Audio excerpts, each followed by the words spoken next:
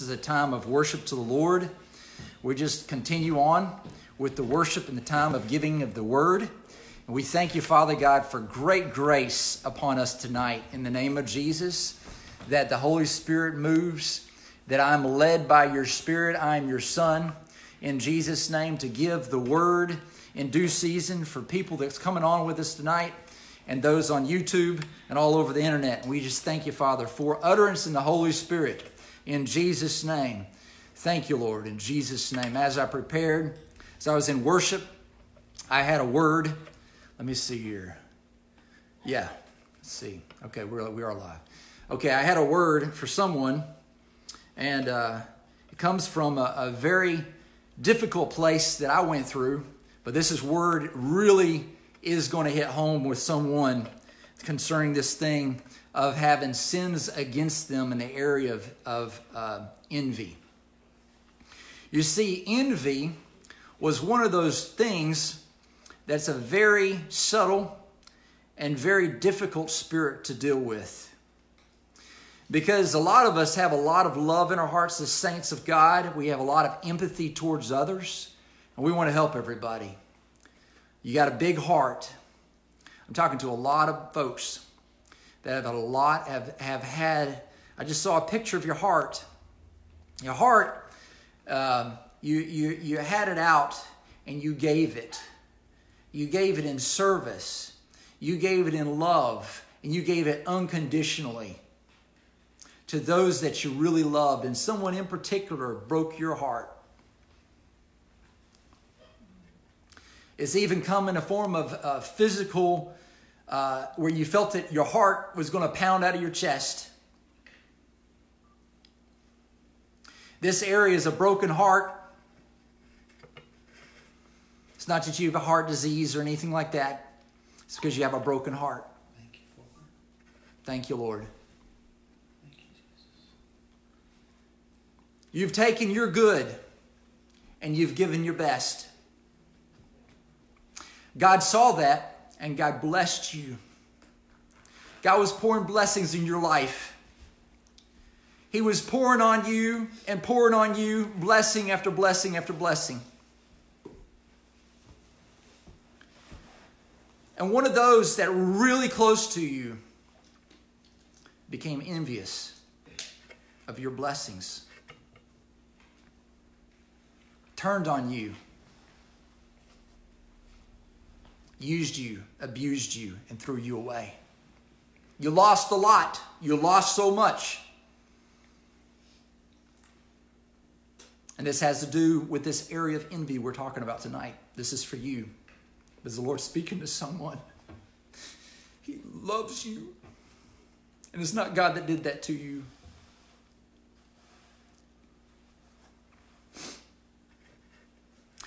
I saw this heart and it was broken. Was in fragments all over the ground.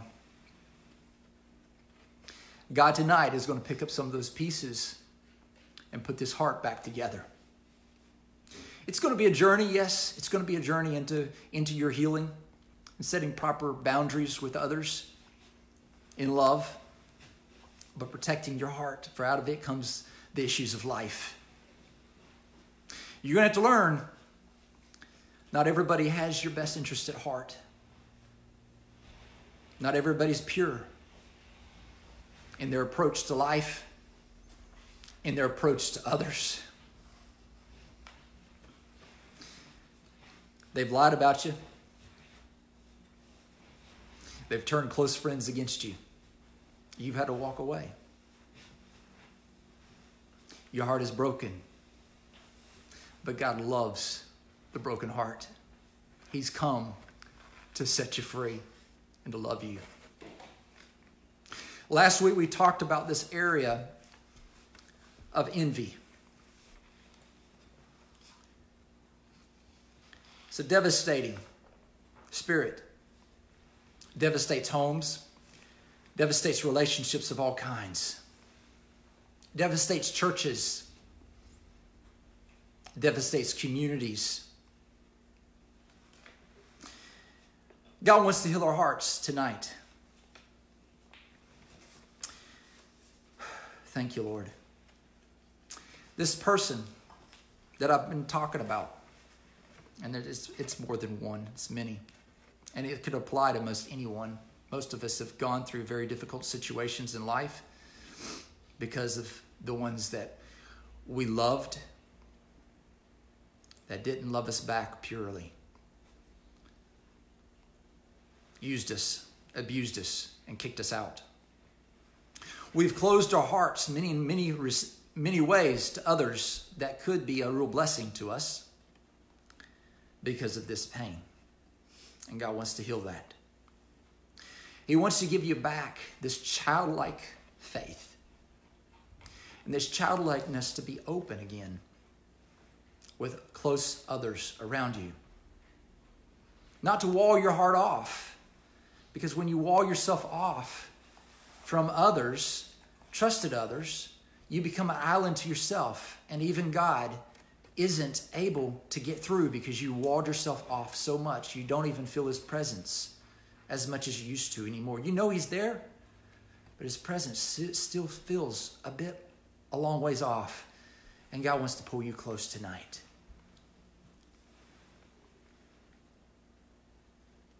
You see, there's something about this generation I've heard several years ago that there was a Joseph generation. We heard a lot about the Joseph generation. We heard a lot about the wealth of the wicked being stored up for the just. Well, what we haven't talked about much about the Joseph generation is what Joseph went through in order to have the anointing, the wisdom, and the power to justify that kind of wealth being released to him. God's going to reveal some things to us tonight. Thank you, Lord. But first of all, we've got to get our hearts and our souls healed.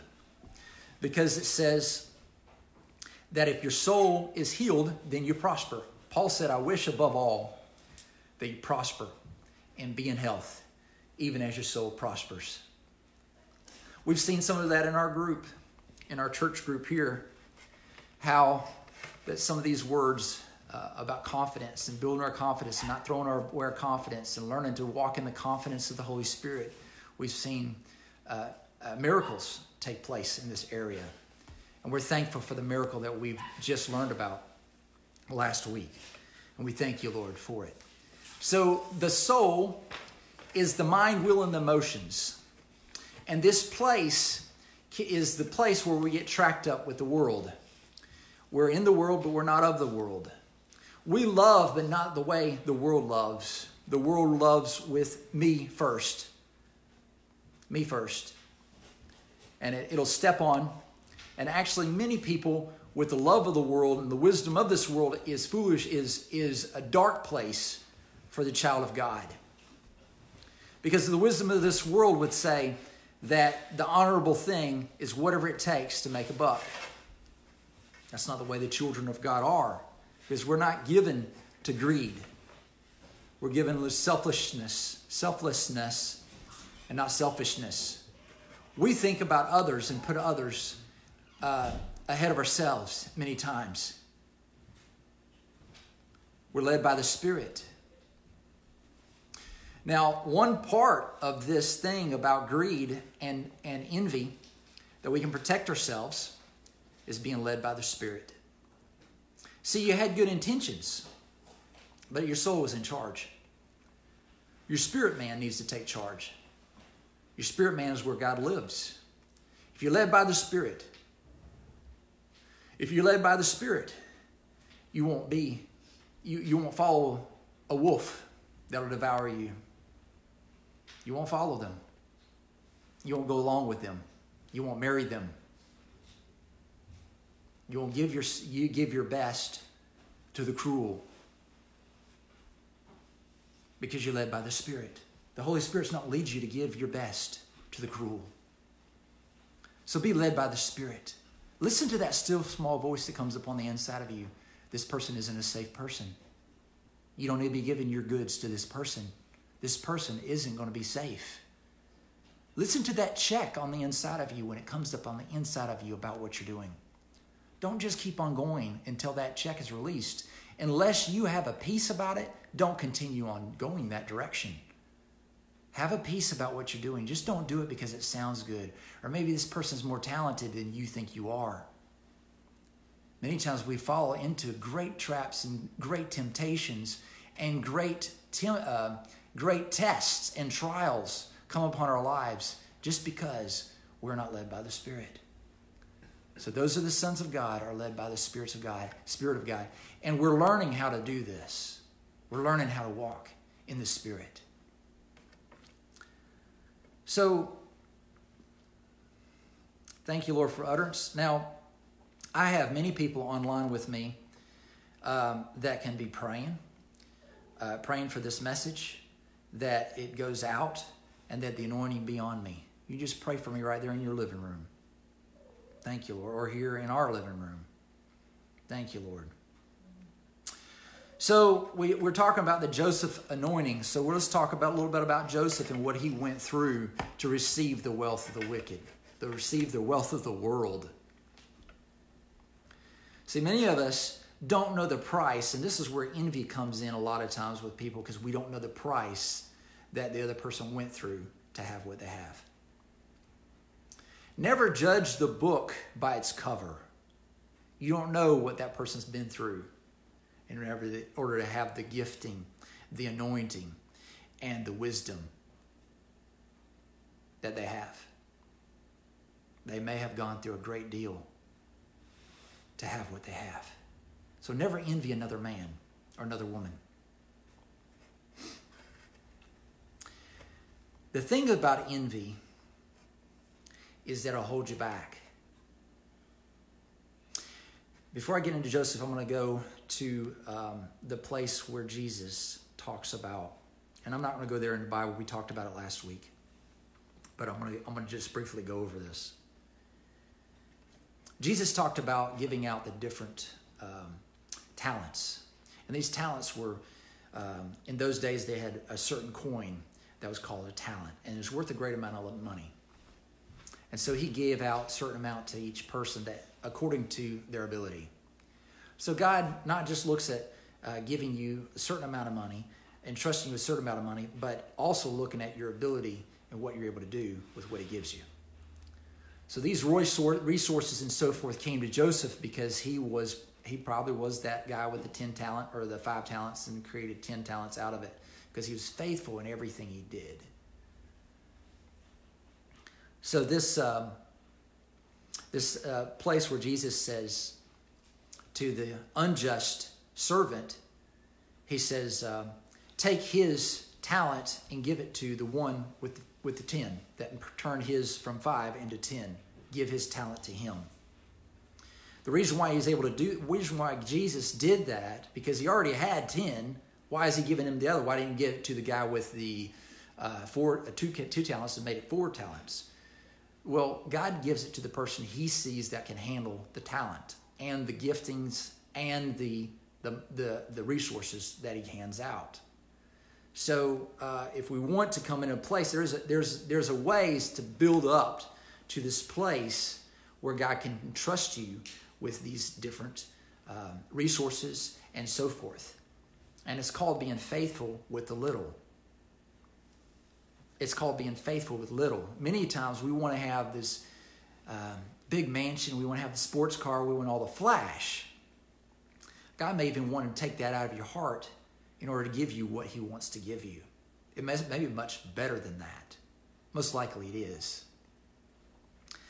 So um, the things that Joseph went through, uh, and and back to the back to the guy with the, with the one talent.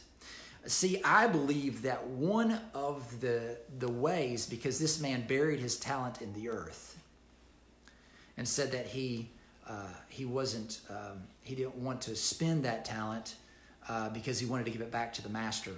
And um, out of fear, he put it in the earth. But I think there was another fear that was inside of him that was more than just fear. I believe that there could be that he buried it in the earth because of envy because all the rest of them got, it seems like, so much more talent and more resources than what he did. He found it unfair So rather than uh, investing his time and energy to cause his talent to grow, he actually took that talent and buried it and envied the others. That's the reason why I believe when Jesus said, let's, let's just go over to that scripture, if I can find it real quick here. Uh, it is in Matthew. In Matthew 25, 29 is the where I, the Lord highlighted this to me today. Uh, it says, and he's talking about the unjust servant that buried his uh, buried it in his talent in the ground. For to everyone who has, more will be given. Think about that. For everyone that has, and Jesus spoke in parables, so you got to read between the lines of what he's actually saying. And this is where it ties into envy. You'll see this in a minute.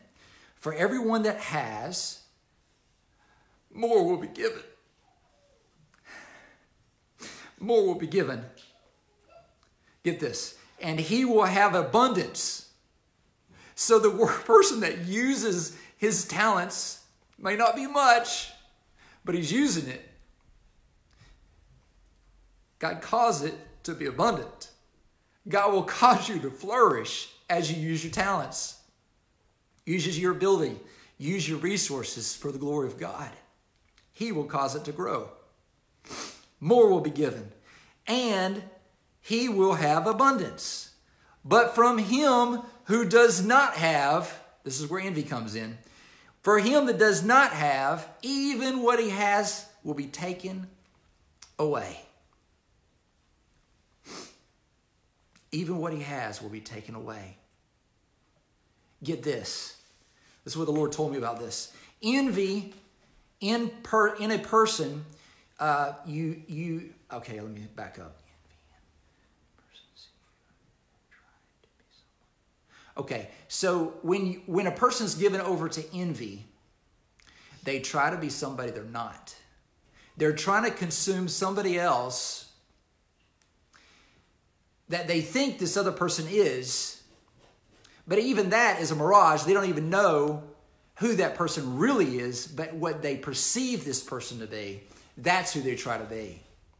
And they try to consume that other person. That's what envy does. It consumes you with someone else. You consume yourself with someone else and what they have, what they are, who they are, I think you get what I'm saying. That's an envious person. This keeps your gifts from flourishing. You'll never flourish in your gift as long as you're trying to be somebody else's gift. You'll never flourish in what God has called you to do, trying to be what God's called someone else to be.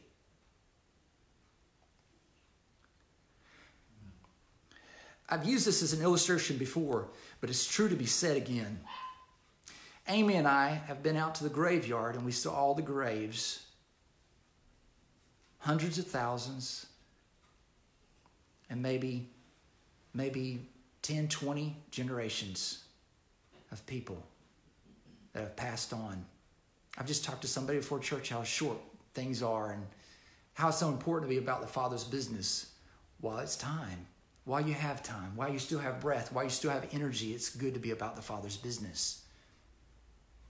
So, this thing of, of going to the graveyard and seeing all these graves that represent all these people that live their life, their, their life either uh, for themselves in envy or being after the Father's business, allowing the Holy Spirit to lead them and what they're supposed to do with their life.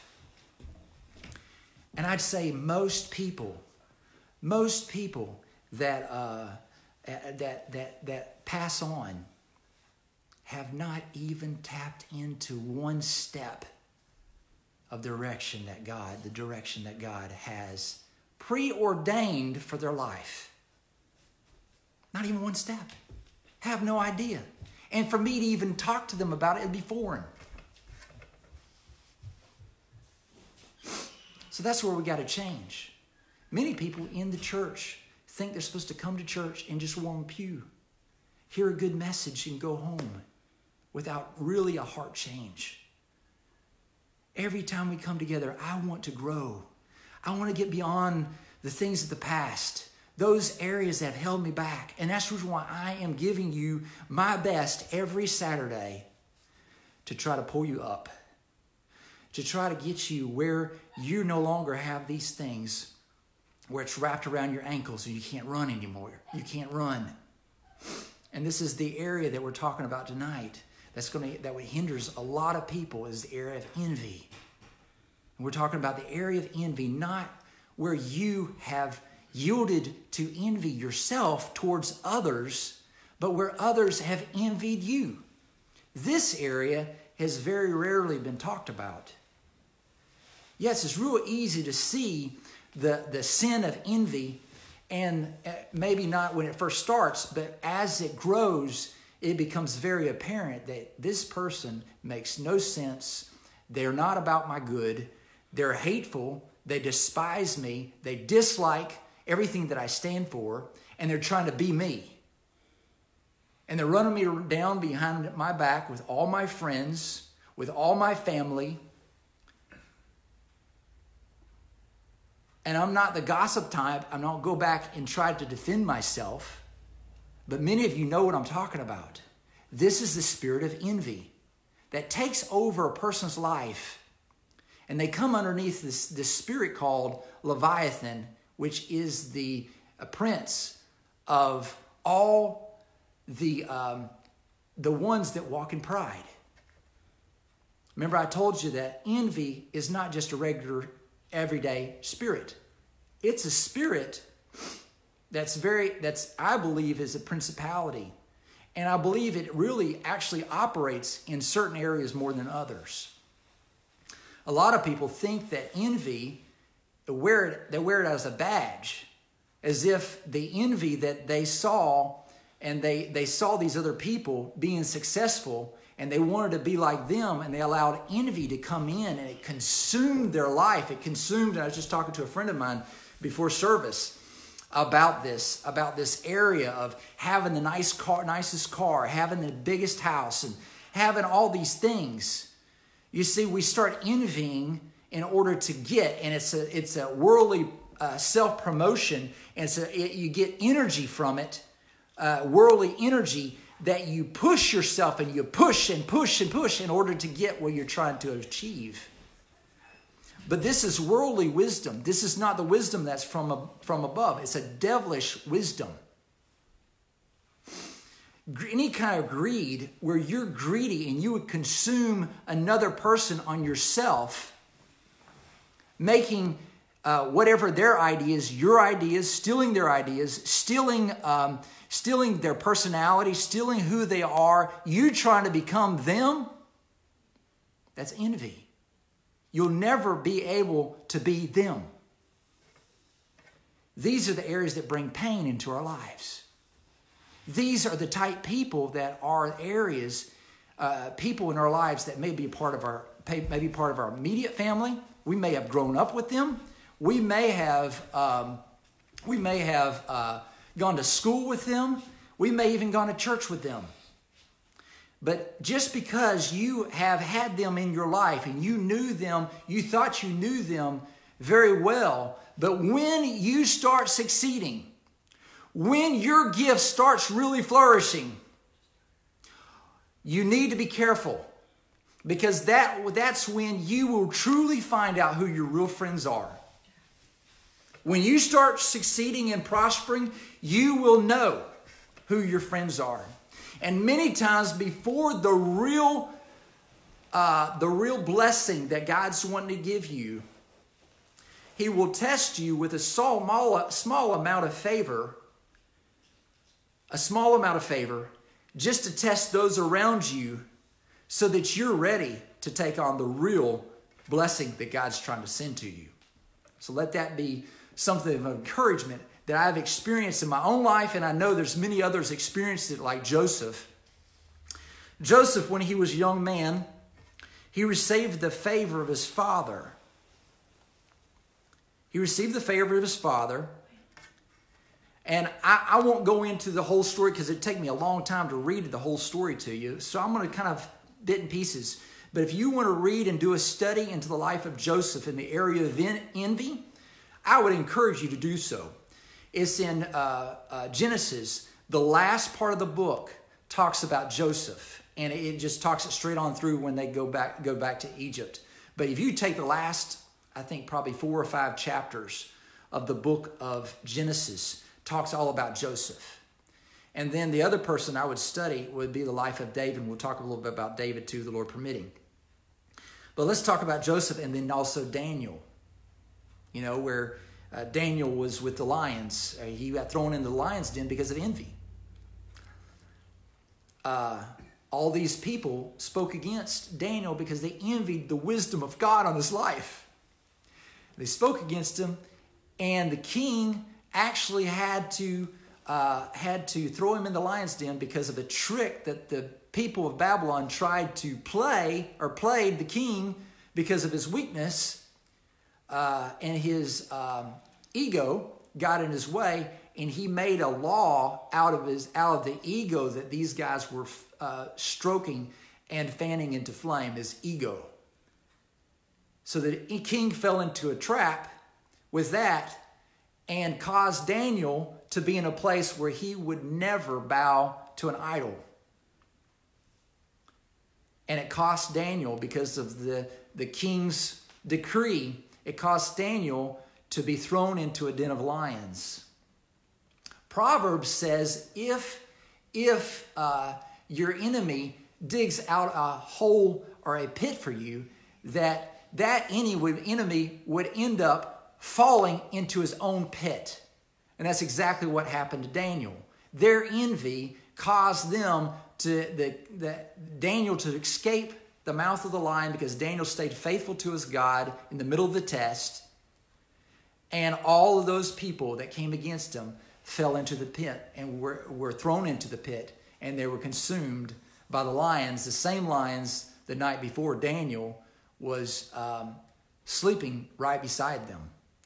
So God's able to deliver us out of the mouth of the lions. Many of us have gone uh, through the lion's den and been untouched. You know, you have stories. I have stories of being through many situations where the Lord's delivered me out of all the trouble that came my way. And the Lord actually caused the person that uh, caused the trouble to fall into their own pit. So I know many of us have those type stories.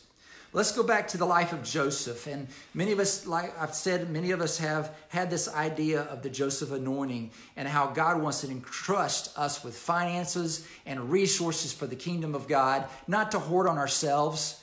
Uh, not to prove how spiritual we are because of the, the abundance that God gives us, but because of our love for Him, that He trusts us with the hearts of others and be able to be a good resource for the kingdom of God.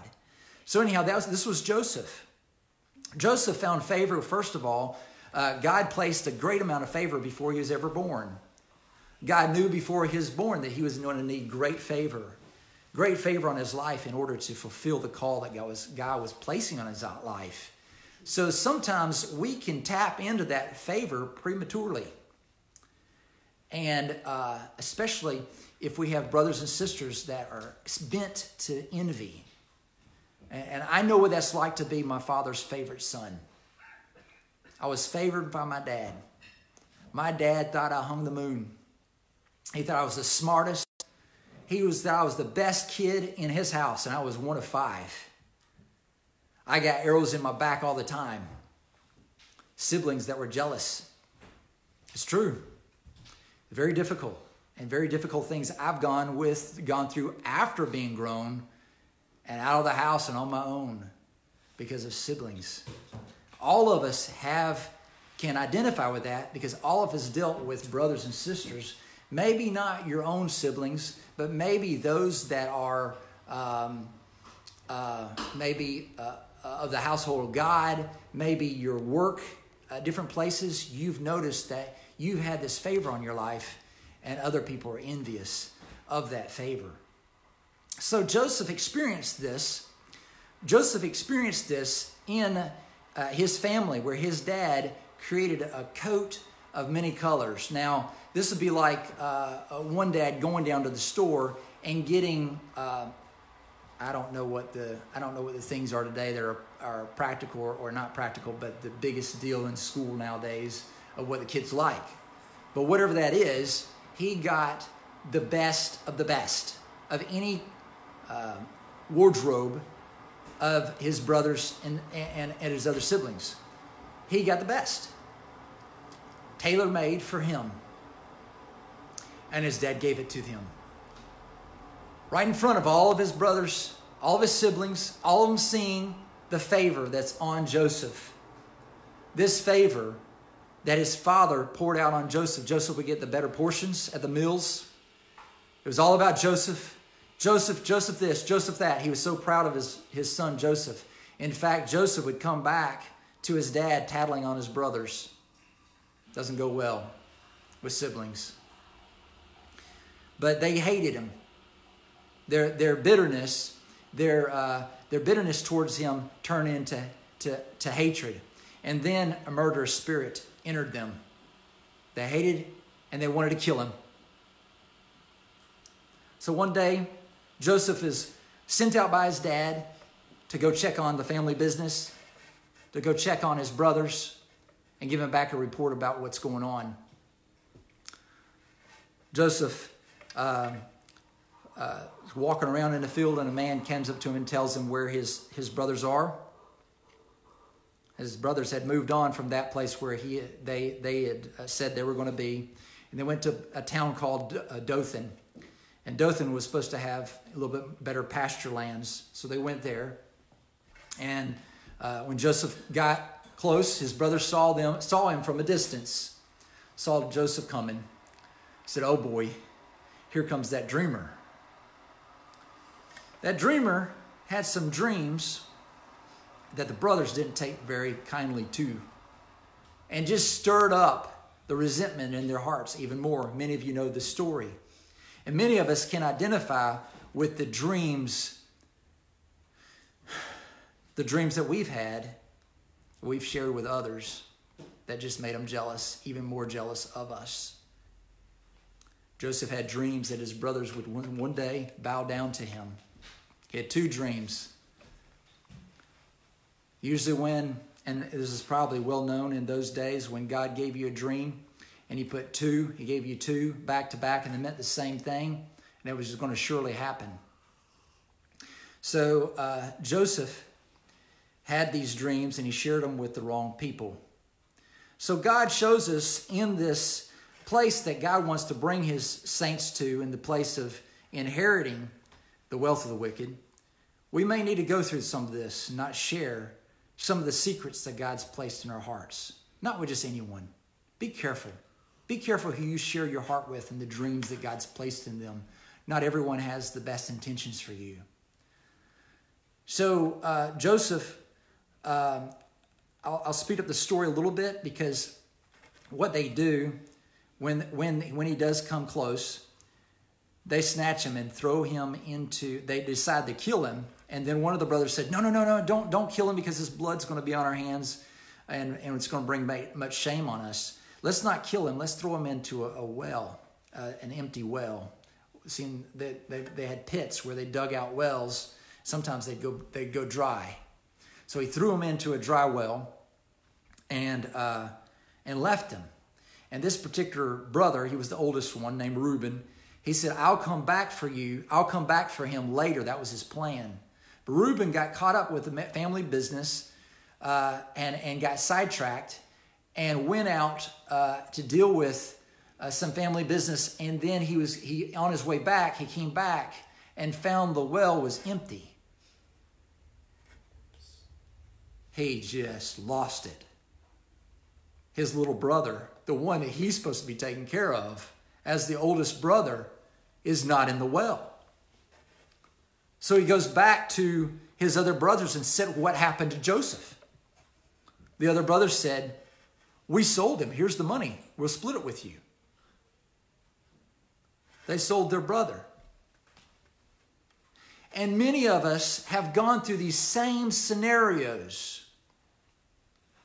It may not may have been not that uh, that you were sold to the Ishmaelites like Joseph was, but many of us have been sold for the highest bidder when it comes to uh, the things we had were stolen from us, maybe a business, maybe other relationships.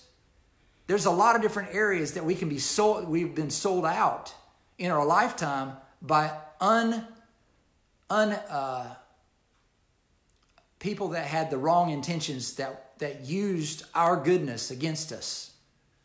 This has happened to me and it's happened to many of you. So these areas is to grow the wisdom of God on how to handle people when we come into the blessings that God wants for us. And as long as our heart is bleeding because of these things, you got thrown down a well. Uh, Joseph went on to to uh, to be uh, bought by a man by Potiphar. From there, he gained fa- great favor, and everything that Potiphar gave to him turned to gold, and everything that Joseph did was favor. Joseph was a good, good-looking man. His his wife uh, had the hots for him. Uh, she couldn't get what she wanted, so um, she falsely accused him. He ends up in prison, and in prison he rises to the top again. You see, when we give our hearts to the Lord, and no matter what the enemy throws at us, we're going to continually rise to the top if we don't allow the enemy to tempt us with bitterness, resentment, hatred, and want to get back at our enemies. As long as we have that type of attitude where we are giving it all to the Lord and we're releasing these people from our hearts to Him and He's the judge, we allow Him to judge between us and Him and them, then the Lord's able to take that situation and cause you to rise to the top in no matter what area that you may feel that you're locked into. So God is able to take you from the bottom and bring you to the top every time, keeping your eyes on Jesus. He'll bring you from the bottom and take you to the top in whatever area you are, find your place self in life. But we have to be aware that we prosper and we're in health even as our soul prospers. So we have to get healed from this area of envy, where we've been envied against and all kinds of evil had come against us through others. We have to get our soul healed from that in order to receive the best that God wants for us. So um, his brothers, okay, they sold him. okay, now now he's in he's in um, he's in uh, he's in the he's in the dungeon. He rises to the top. The person over that pretty much checks out and allows Joseph to run the whole thing without his oversight. Joseph runs the whole prison. And he's telling everybody else where to be and how to run, how to, how to do this. And uh, he's entrusted. So, this is the way God does things. So anyhow, Joseph keeps on being faithful with the little. Whatever God has, has him doing, he just puts his heart into it and he does his best, and God keeps on blessing him. Then one day, two men came into the prison that were sent, that were part of the king's inner circle, the president's inner circle. And these two men were very close to the king. One was his, his baker, and the other one was his butler. His, his butler um, was the guy that he trusted to taste all of his wine. This guy, not only was he was he uh, to taste his wine to see if it had the right taste, it was the best, it was aged just right, and so forth and so on. This man was um, the man in charge that he would take a sip of every wine, every cup of wine that a drink before the king had it to make sure the king didn't die. So this guy had to be, the king had to trust him, and somehow or another, he broke his trust with the king and got thrown in prison. So the king, over the course of the time, uh, the uh, well, the baker and the butler ended up there. Both of them ended up in uh, a bad way with the king, and uh, both of them's in, in there, and they they have dreams both on the same night. Both of them very similar dreams, but with very different consequences. So the one had the dream of being restored to the king, restored to his position. The other one had the dream that, in the interpretation of the dream, was that he lost his head. In other words, he was um, he was executed because of the crime that he committed against the king. So, um, so these two, it actually went exactly the way Joseph had interpreted the dreams. Joseph interpreted the dreams for them. And the funny thing is about this is that he's interpreting dreams even when his dream hasn't come true yet. His dreams haven't been fulfilled yet, but yet he knows that he's faithful with what he has because he knows how to interpret dreams and he's going to interpret their dreams and be a blessing to them. So he tells the guys, he says, when, when you get in the king's presence, when you're restored, then just say a good word for me and get me out of this dark place. So the king said, the, this goes on for two years after the guys are out. They've been out for, for this guy's been out for two years and didn't, didn't even remember Joseph, forgets all about the prison situations, forgets about the dream, forgets about the interpretation, forgets about Joseph. Goes on for two years. And don't you know that in his heart, as he's going through these hard situations, he must have think, he must have thought at times, God's not there. God's not here. He had to fight the same things that we many times have had to fight. But he's there and he knows. God knows, and in His timing, He'll bring these things about. You, the words that God has placed in your heart, those dreams that God's placed there in His time, and He will bring them forth. As long as we're faithful, we have to be faithful with whatever God places in our hand to do now.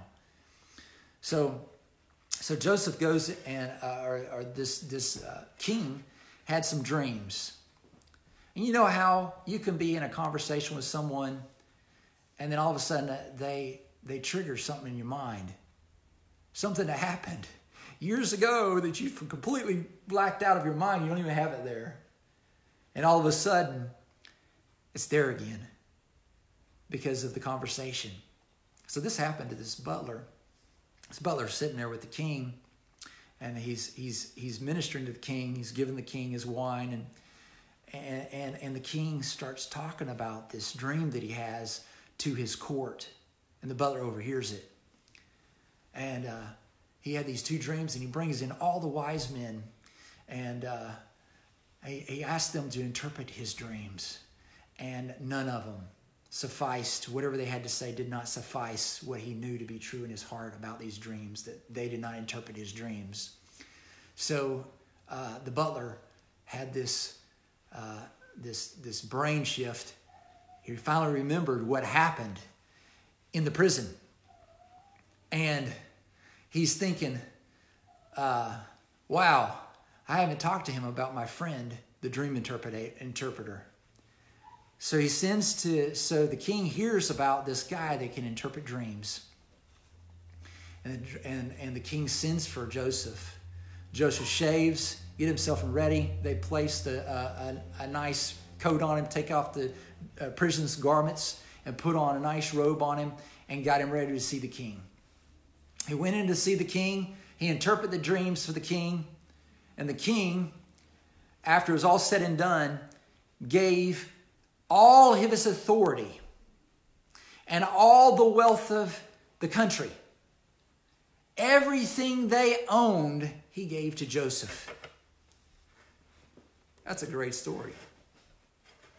And I believe that, that there, there are levels of that in our life that God wants to entrust to us in this anointing called the Joseph anointing, but there has to be this healing in our hearts where we've been devastated through envy, through jealousy, where we may have not yielded to ourselves, but our heart has been broken because of others that we've had held tight to us that broke our heart because of jealousy and envy. You see, um, let's see here.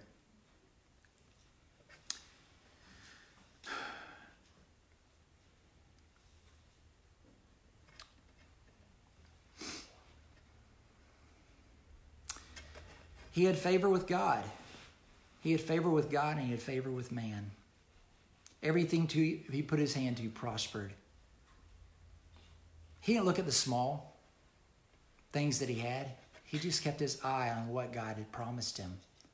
And God was faithful to bring those things about. He held on to his dreams. In the midst of mate, major um, contradictions, major contradictions. And that's where we have a lot of contradictions. Maybe hitting you in the face for years, the contradictions to your dreams, the contradictions that come through these places of envy and jealousy. Now, one thing I, I, God, God, is, God is also teaching us is wisdom. You see, Jesus, this is a very important part, and don't don't don't think this is this is a real important part that I if I can convey this to you will save you so much time in progressing towards your dream. Is uh, through all that Joseph suffered, he learned a lot of wisdom. And it says that Jesus himself was perfected by the things he suffered. See, Joseph was tested. The word of God was tested all the while he was in prison. He was tested. He was tested when he was sold. He was tested, tested, tested. And he passed each test. And then God promoted him. But when his brothers came, because there's also that, that time when these people that have envied us come back into our lives. What then? What do we do when those people come back in our life? Do we automatically just well, I forgave him, so I'll just I'll just uh, I'll just put him back in the same position he had before in my heart, and uh, act like nothing ever happened. Well, I know that sounds real Christian-like, but that's not what Joseph did. If you read on about what Joseph did to his brothers, he tested them. If you remember about the sacks, he he tested to and he and, and he found out whether or not they have the same heart towards their younger brother as he had towards him. Because Joseph had these all these brothers that did this to him, these terrible things to him, they were all half brothers. Joseph had a blood blood brother born by the same dad and the same mommy. His name was Benjamin. And Joseph used his brothers to find out whether Benjamin, whether they were uh, they would be towards Benjamin the same way they were towards him, to see if their hearts had changed, see if he could trust them. Are these worthy men? In fact, in the New Testament, there's a place where Christ says, Go and preach in all the world. He sends out his, his, his 70, he sends out 70 two by two and said, Go into every town and village and speak to them about the kingdom of heaven. He sends them out in two. And he says, When you go into the house, you determine whether this house is worthy. Get this if it's worthy, you leave your peace upon it. If it's not worthy, you draw your peace back to yourself. Keep your peace and go your way. God wants us wise as serpents, harmless as doves. So we have to look at this picture of Joseph and how the wisdom of God was on him to determine whether his brothers had changed. So that's how we really need to, to really uh, ask the Lord, has this person changed?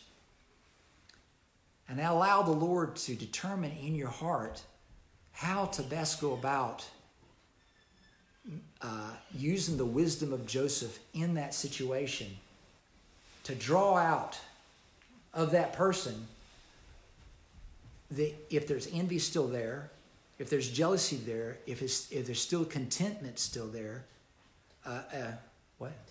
Contempt there, wrong word, um, then you're able to draw that out of them by the wisdom and the grace that Joseph had to find out. Now, Joseph had an advantage because they didn't know who he was. He was dressed differently. He was, he, he was, he was like king of, king of the country, and they didn't recognize him. Um, and he was able to use uh, interpreters for himself. But there's ways that God's going to give you wisdom. Ask God he says, if anyone lacks wisdom, ask me, and he'll give to you. So you ask the Lord for wisdom and how to find out whether this person's changed. You don't have to invite them in back into that same place in your heart. Proverbs says, protect your heart with all diligence, for out of it comes the issues of life. So get your own heart healed up from these areas by forgiving and forgiving. When I say forgiveness, I mean releasing them totally to the Lord. No more judgments over them, no more hatred towards them, no more uh, trying to get back at them. You're releasing all the bitterness to God. You're releasing all the pain, everything they did, you're releasing it into the wounds of Christ on the cross, allowing Him to take the burden of those sins upon Himself. So, I don't know. I mean, I think there's probably quite a few people that I'm talking to here. And we're just going to go ahead and deal with some of this stuff because we want to have the wisdom of Solomon. You saw, see, Solomon had such wisdom, and we talked about the things that Joseph suffered, but we don't often talk about the things that Solomon suffered in order to have the wisdom that he had. Uh, I know that there must have been some type of jealousy between the brothers. And in fact, I believe that there was a great amount of suffering that came to the whole family when a brother of his by the name of uh, Absalom tried to take the throne. And then another brother of his name, uh, his brother, another one, another one of his brothers uh, tried, to take the throne. Also, was his name was uh, Amon. Both of these try to take the throne. And actually, Ammon and Absalom drew away the whole family to themselves, turned them against the father, turned them against their brother uh, Solomon in order to obtain the throne. So Solomon knows what it's like to be rejected by the family and to have the situation of uh, like a mutiny uh, when it came to his position in the family and where God had positioned him. It was that his two of his brothers try, envied him and tried to pull it away from them illegitimately. And many of us have had many situations like this that's happened in our lives. Um, but the thing is that Absalom, or Solomon, going through all these situations, gave him the wisdom that when he went to judge Israel, he was amazing. He had the, he had the wisdom of God in knowing how to minister to the people. And now be able being able to discern between the real person that re, that really owns the situation such as these two ladies that came into the court. Solomon is able to read through them because he could see envy on the one and he could see the mother on the other. And this is how he did it. See the see somebody that envies tries to take everything that's yours they try to take what's yours to be theirs. And if they can't have it, they will destroy you and everything about you in order to for you not to enjoy it. That's what envy does. It's terrible. So these two women came in, and both of them were pregnant at the same time. This is a story of them. They were both pregnant at the same time, but they lived in the same house. And one night, in the middle of the night, one of the ladies had rolled on top of her baby, and the baby died in its sleep, leaving one baby. And this woman wakes up and she realizes that she had killed her baby. So she took her baby and put it beside the other woman and took the live baby and brought the live baby and snuggled up next to her.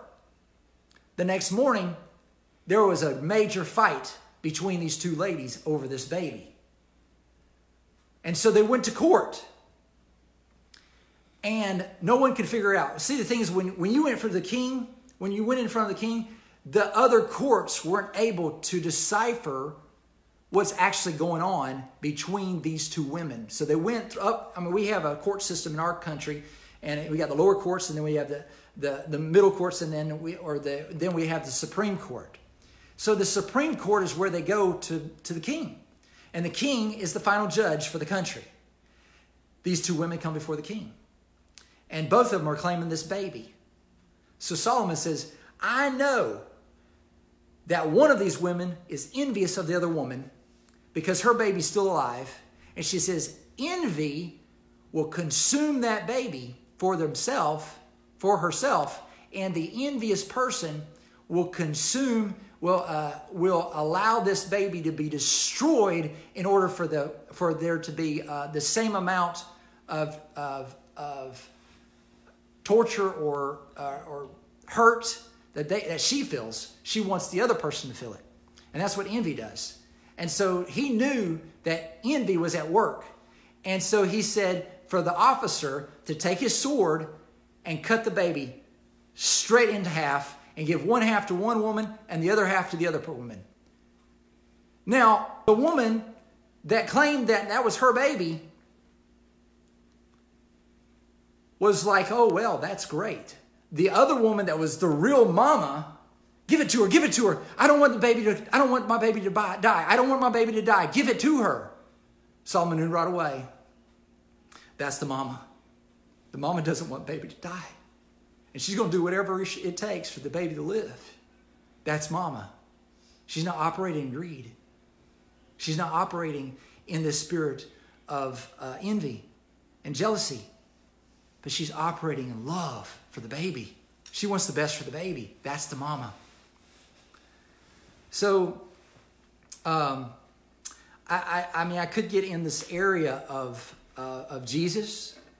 Jesus was a prophet. He says uh, that he's the prophet and that the prophet is not recognized and not esteemed and not valued in his own town. I won't read the whole thing to but I'll, sum it up. It's in Luke chapter 4, I believe in 4 16 through 30. Let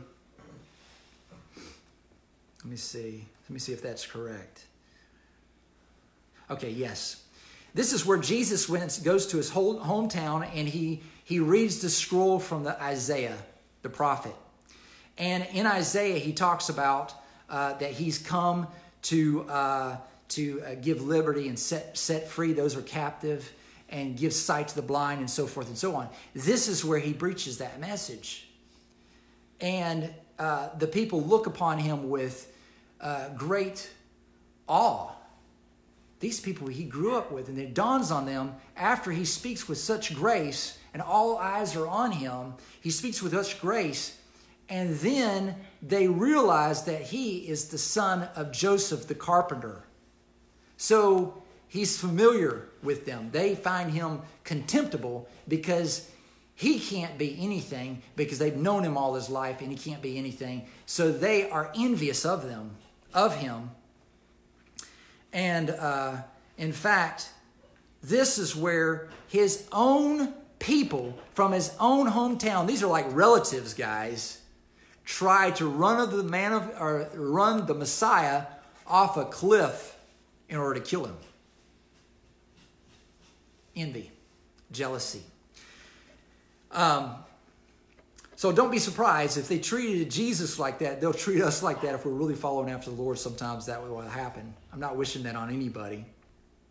But this is actually what Jesus went to the cross. It was envy that nailed him to the cross. Potiphar said it. So the Potiphar knew that they, that they, sit, they gave Jesus over because of envy, because of jealousy. So, um, these areas, we just want God to bring healing to our souls right now in every area so that we can go forward. We no longer want to be held back because of the pain of yesterday. Not being able to open our hearts to anyone anymore because we're closed off because of pain. We want God to receive the pain he carried our pains and our sorrows. Isaiah 53 says he did this. So, right now, just close your eyes wherever you are and, and just allow God to take this pain onto himself. I just want you to picture Jesus on the cross. How he, hang, he hung there. Just get a good picture of him, the Mel Gibson type of, of Jesus hanging on the cross. bearing the sin of envy and jealousy upon himself. So, all the envy and jealousy that's been aimed at us, we just release in the wounds of Jesus. All the mental torment that we've gone through, the hatred, the resentment, the bitterness, the strife, the, the, the spirit of murder that's tried to grip uh, some, of the, some of our hearts we just release it into the wounds of Jesus. Release all bitterness, and all the uh, all the uh, judgment of judging them as being the sin that they committed against us. Yes, we were submitted, we were we were we were sinned against. We recognize that and we recognize the areas that there hasn't been reconciliation. We recognize that, but we bring the these things to the cross. We bring the areas of um, of manipulation where we've been manipulation been manipulated, controlled, abused. We bring it to the cross and release it in the wounds of Christ on the tree. Release all the envy, all the sin that we've been sinned against through the spirit of envy. We release it into the wounds of Christ on the cross. Release our rights of vengeance into the cross. Release it right now. Release it. Release them, placing their hands in Jesus' hands. No longer taking the responsibility to fix anything. In Jesus' name, we release them to you. In Jesus' name. Amen. Thank you, Lord. So, many of you, some of you, may not know the Lord. Some of you have walked away from the Lord. Some of you, um, well, all of us, all of us need to come back to the Lord tonight.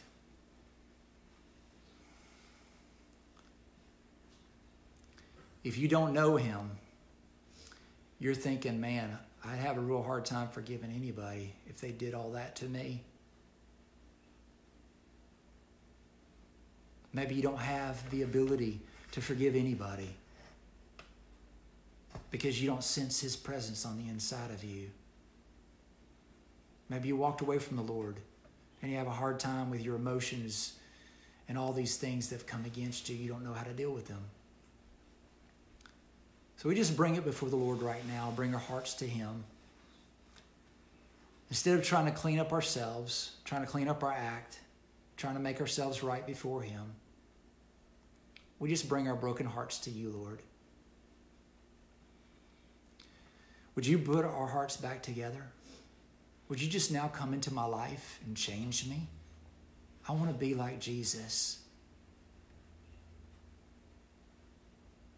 I want to love like he loved.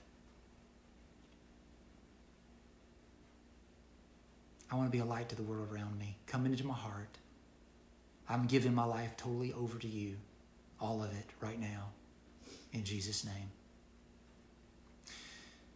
Now, if you have walked away from the Lord, just come back home. Lord, just I just give myself totally to you again afresh and renew my life to you. I belong to you. I don't belong to anyone else. I belong to you. I give my life back life back to you. I give all of it. I give you every broken place. I'm asking you to heal me right now from every place I've looked in the brokenness of others. They've, they've, they've used me, they've hurt me, yes, but I'm giving it all to you. And I place everyone into your hands right now. In Jesus' name, amen.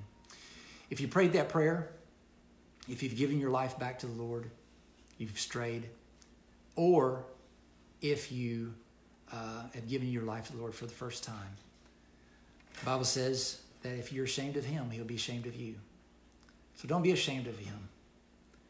Give me a give me a um, a message message me, um, or or give me some type of way uh, that you you let everyone know that you've given your life to the Lord. Be bold about it.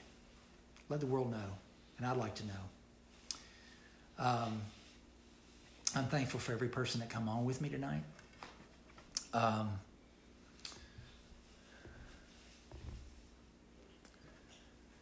Tanya, Tanya, we, we miss you. Think about you almost every day. Amy and I, we talk about you. We love you. Um, uh, you say Beza? Beza? Okay, I'm getting it right. It's good to have you on with us. Thora, you're such an encouragement to us. So are you, Paul, uh, Kelly, Dave. Um, you guys are such an encouragement. Um, Tyler, say hello to your lovely wife, to us, and your family. Um, Isaac, we love you guys too. Miss y'all. Uh, Ed, uh, Kenny, Elizabeth, we love you. Keith, and uh, Danny, we love everyone on with us. Uh, bless every one of you. God keep you. God make his face to shine upon you and give you peace in Jesus' name. Bless your week. Bless everything you put your hand to. In Jesus' name, in the love of God. Amen.